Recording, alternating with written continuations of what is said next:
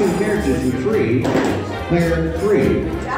Daffy is correct. All right, one in like for 300